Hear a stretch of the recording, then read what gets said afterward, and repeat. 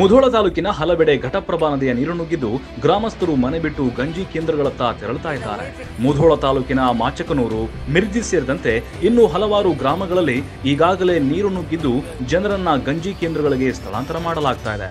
Machakanur PDO Hanumantha ಭಜಂತ್ರಿಯವರು Machakanur ಗ್ರಾಮಸ್ಥರನ್ನ ಸುರಕ್ಷಿತ ಸ್ಥಳಕ್ಕೆ ಸ್ಥಳಾಂತರಿಸ್ತಾ ಇದ್ದಾರೆ. ಹಾಗೆಯೇ ಒಂಟುಗೋಡಿ ಗ್ರಾಮ ಪಂಚಾಯತ್ ವ್ಯಾಪ್ತಿಗೆ ಒಳಪಡುವ ಮಿರ್ಜಿ ಗ್ರಾಮದ ಮನೆಗಳಲ್ಲಿ ನೀರು ನುಗ್ಗಿದೆ. ಮನೆ ಮುಳುಗಡೆಯಾಗಿ ನಿರಾಶ್ರಿತರಾದಂತಹ ಸಂತ್ರಸ್ತರನ್ನ ಗಂಜಿ ಕೇಂದ್ರಗಳಿಗೆ ಸ್ಥಳಾಂತರ ಮಾಡಲಾಗಿದೆ. ಗ್ರಾಮದ ಸರ್ಕಾರಿ ಶಾಲೆಯಲ್ಲಿ ಗಂಜಿ ಕೇಂದ್ರವನ್ನ ತೆರೆಯಲಾಗಿದ್ದು, ಗ್ರಾಮ ಪಂಚಾಯತ್ ಅಭಿವೃದ್ಧಿ ಅಧಿಕಾರಿ ಸದಾನಂದ್ ಪರ್ಸನ್ ಅವರ್ ಈ ಕುರಿತು ಜಾಗೃತಿ ವಹಿಸಿದ್ದಾರೆ.